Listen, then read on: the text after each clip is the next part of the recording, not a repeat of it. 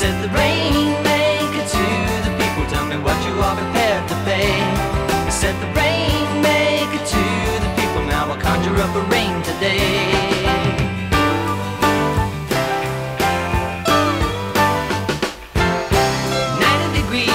Trees where it's and ten in the hot sun. Heat from the street burns the feet of the ladies.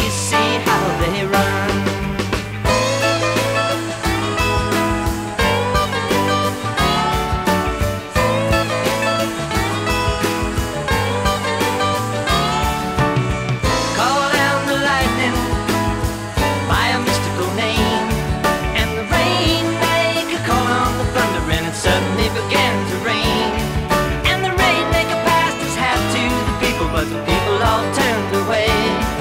And the rainmaker's eyes in the Kansas skies, well, they both became a darker gray.